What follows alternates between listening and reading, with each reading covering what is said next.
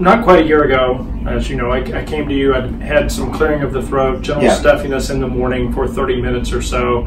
Take a little time to get going, clearing my throat, and it started to become a bit more constant. Mhm. And at that time, we introduced some retractions and also other methods to see if that would help. Yeah, it was a, a general sensation of uh, just something in my throat, and I guess as we'd say, it was really non-productive. I wouldn't get anything up. There was really nothing there, and it started to become a, a bit more uh, intrusive all the time. And so it'd be in meetings, and I have a professional life, and there's a lot of clearing of the throat, and it became a distraction more than anything, and very noticeable, and it made me self-conscious.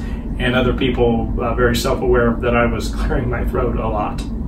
Right. So was that happening only during the conversation or throughout the day? Throughout the day, You will you will have that. yes.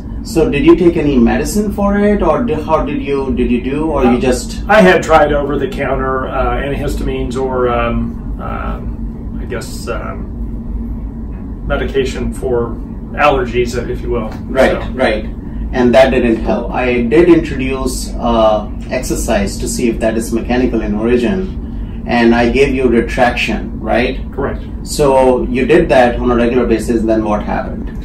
Uh, it didn't totally clear up uh, Uh-huh. with the retraction. Uh, we'd already done the retractions for a few other things, so I was Right. familiar with the exercise, but Right. at that time it, it didn't completely clear So up. So that didn't help. no.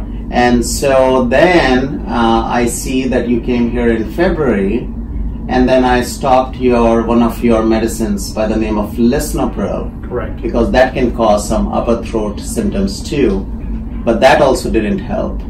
And so you came in after that. You were still having that clearing of throat.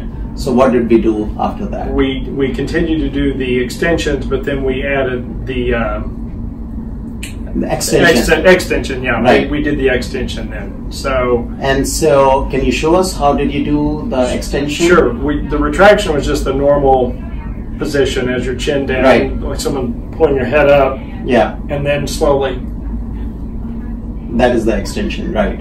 So All we added back. extension to it, and then what happened? Uh, it basically took a little time, but there was a noticeable clearing of, of not needing to clear my throat any longer. There's still always, uh, not always, there, there can be just a little bit, but it's that's sometimes maybe one time, once or twice during the day, and it's Right, nothing close to what it was before. What it was? And Okay. if I do feel that there is ever a need, I, my posture is not great, so I can sit up and do Yeah. the do the uh, retraction and extension for a little bit at my desk, and back Right. into a, a better posture, and right, no right. no need to clear my throat.